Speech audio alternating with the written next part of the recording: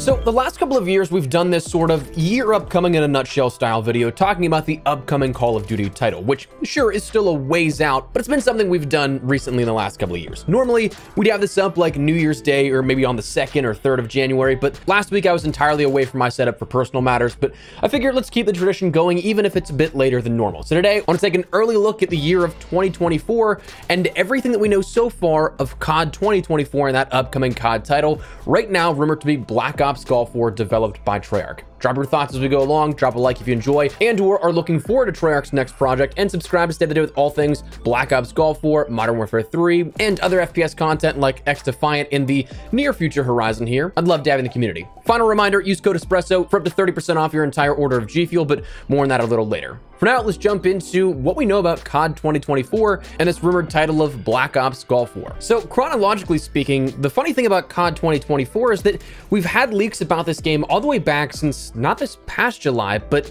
the July before that. July 2nd, 2022 is when we saw an early alpha build of Warzone Mobile get out there in the wild. And from that, because it was the sort of initial architecture and framework for this COD 2.0, this unified system for progression across all different titles, all different platforms, including mobile, we actually got details about the game, which at the time, the more pressing stuff was talking about Modern Warfare 2, as official gameplay wasn't even revealed for that yet. But we also saw things before Modern Warfare 2 was even revealed about COD 2024 with things like the references to the Battle of Mogadishu and thus a number of Gulf War mentions in various files and game asset strings. There's concept art for maps called Stealth, which depicted a military base with stealth bombers, as well as a map called Pillage, which was a concept image of soldiers rushing into Saddam Hussein's palace.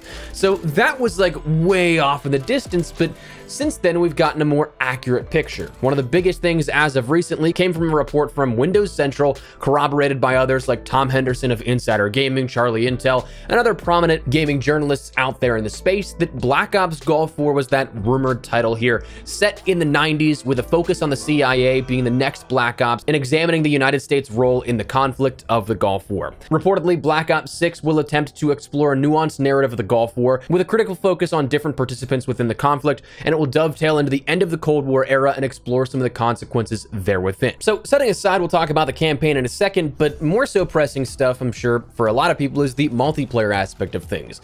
When you think about what we know so far, the gameplay mechanics, this is going to still be a part of that COD 2.0 as it was deemed last year with Modern Warfare 2 and the build up for that. So the COD HQ will likely remain, likely the UI to some degree will be the same unless there's an overhaul for that, but it will be on that shared IW engine that we see both Modern Warfare 2 and Modern Warfare 3 being built upon. Bear in mind, though, that that's the same architecture, and while there will probably be new similarities in how the game feels and plays to the last two titles, engine does not always equal a direct one-to-one -one in those elements and gameplay feel.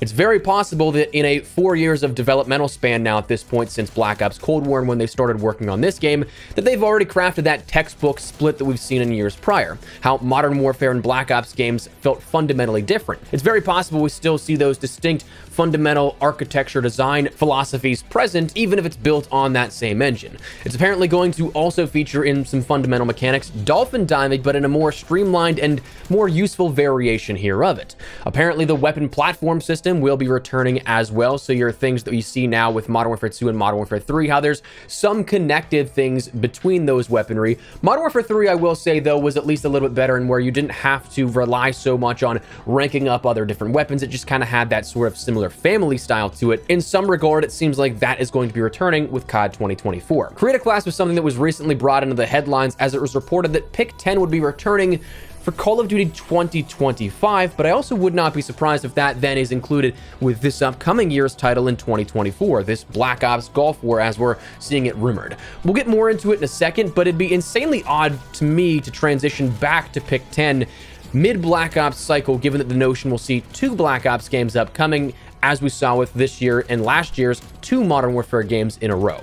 But anyways, again, touching on that a little bit later, we'll apparently see the perks of Ante-Up, where you start each life with plus 200 points towards your score streaks. Double Time will increase that duration of the tactical sprint, doubling it, thus confirming tac Sprint also is at least as the time of these leaks a little while ago that it was something that was going to be in the game, and it would also increase the crouch movement speed by 30%.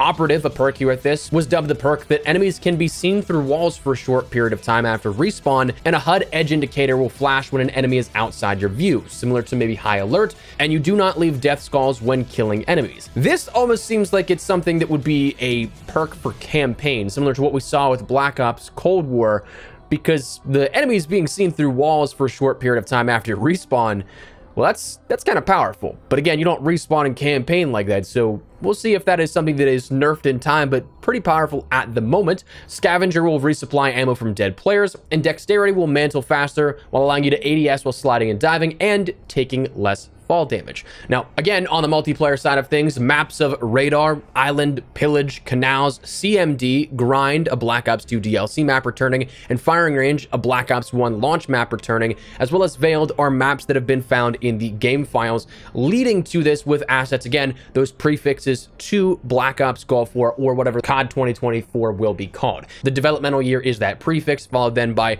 the subsidiary of what mode for multiplayer, zombies, campaign, whatever, and then the asset names there. So they're tied to this in some capacity. And the final thing we can talk about in terms of multiplayer content is some of the weapons that apparently have leaked. We have things like the Colt 723, AK-74, Mendoza RM2, AS Val, Armalite AR-18, the British L-85 rifle, the FAL, the KAC SR25, the Dragunov, the AEK 971, the SIG SG 550, the Armalite AR 10, the PU 21, the IP2, the KSP 58, the Colt 9mm, the Grendel R31, the PP 90 folding SMG, the PGM, the Dragunov SVD, the L96, the Mossberg 500, the USAS 12, the H&K P30, USP 9, the Makarov combat knife, Halagun, and the Panzerfaust have all been found in the game files as well. So that's your multiplayer stuff, but in regards of like campaign, we know of a few things of campaign mission names that have been found in the game files. It doesn't give any sort of spoilers or anything like that, at least not to my knowledge. You have the missions that apparently are named Contract, Union, Safe House, Storm,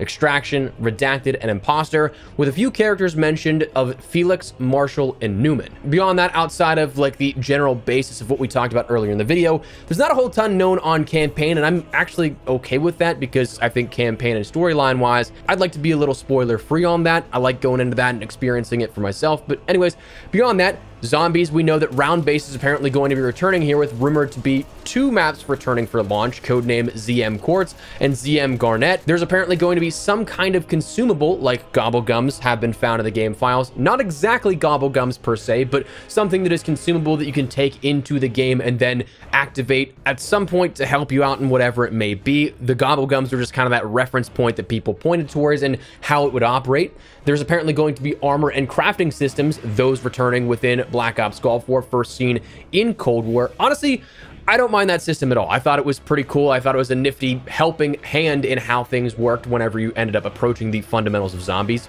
So I'm okay with that. And apparently there's going to be the potential for not week, but weeks early access for round-based zombies. This coming back to that Windows Central report that a gradual rollout of the game may be explored with Black Ops 6 here and the success of the recent years campaign early access periods in Modern Warfare 2 and Modern Warfare 3. Now that kind of stuff, of course, guarantees sales because it's a digital thing. You cut down on cost of actual production of discs and all the retail overhead associated with making a physical game. So it guarantees you that, but also digital pre-purchases are pre-purchased purchases. You have to pay, in most cases, for the full thing up front. It's not like a pre-order where you can put $5 down or something like that and reserve your copy, pay for the rest when you actually show up and get it. So that's something from a business side, they probably absolutely adore because it guarantees your money with it. And so therefore, with that having been something that's taken over the last two years, they apparently have been looking at still that campaign, week early access, the full multiplayer offering, and whatever those that didn't pre order the game getting it at the actual launch day, but perhaps something like two, maybe even three weeks early advanced experiences for zombies. Potential weeks of early access. So that may be something we see with the launch of 2024 here later this fall. But beyond zombies and everything like that, Warzone, we have a few details, but not a whole ton. Obviously, we know that Rebirth Island and Fortune's Keep are coming back leading up to COD 2024, but apparently Verdansk is going to be returning as the big map battle royale map within the season one integration come not necessarily like at the launch of the game in November, but probably in that early to mid-December timeframe when a season one launches and everything then transfers over.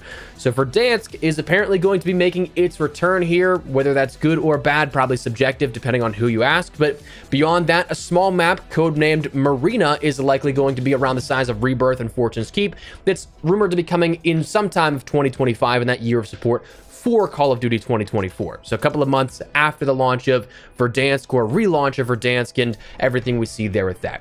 Beyond that, in terms of just general discussions here with it, well, the platforms supported for Black Ops, Gulf War, and COD 2024 is yet to be currently known. Obviously, we're going to see our Xbox Series X and S, our PlayStation 5s, our PCs, those current generations of titles. But right now, it is still a very big question mark on if PlayStation 4, Xbox One, and the subsidiary last generation consoles, if those will be supported in any way, shape, or form.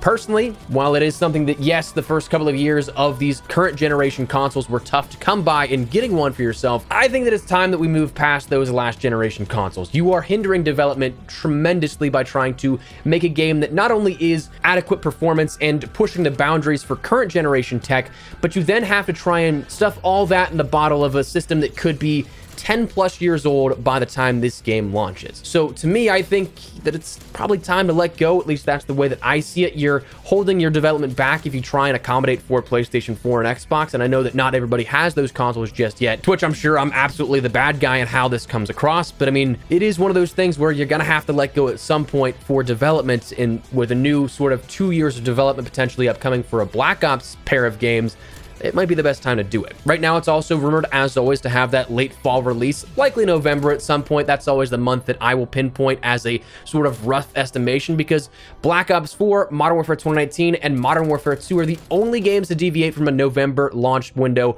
outside of the original Call of Duty and Call of Duty Finest Hour going back to 2003 and 2004. So it's a safe bet to say November, at least right now. And beyond that, for COD 2024, the only thing we can talk about is, is there going to be some high expectations expectations because I mean, after all, this is a game that has four years of development to work with here. Some, of course, those first couple of years probably being like planning phases and everything while Black Ops Cold War was still in its year of support. But you have four years of development going into this game, more than we've seen any Call of Duty title have in the past, even more than the three years that Modern Warfare 2 had, which fundamentally speaking, yes, while it was a sort of disappointment to myself and a probably large handful of other people, the content offering and what was there at the launch, 50 plus weapons, Spec Ops experience, a pretty solid campaign, DMZ as a whole. There was a lot that actually went into that. Again, whether or not I agree with the fundamental philosophies of how they designed the game, that's entirely irrelevant to that discussion. So four years for development sets the bar pretty high. So while I'm excited because of that, I also don't want to get my hopes up too much because of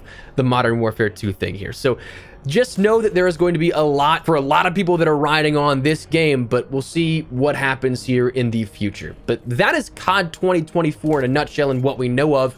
But one thing that we also mentioned again is that right now it seems like Treyarch's next title seems to be having a two-year support window, and reportedly right now, it seems like it's being done properly. And what I mean by that is that Infinity Ward was previously rumored to have handled both years of Modern Warfare 2's two years of support. Modern Warfare 2 and what we saw last year, and then this current year of what we have of Modern Warfare 3. But as we know, Sledgehammer's at the helm here for this one.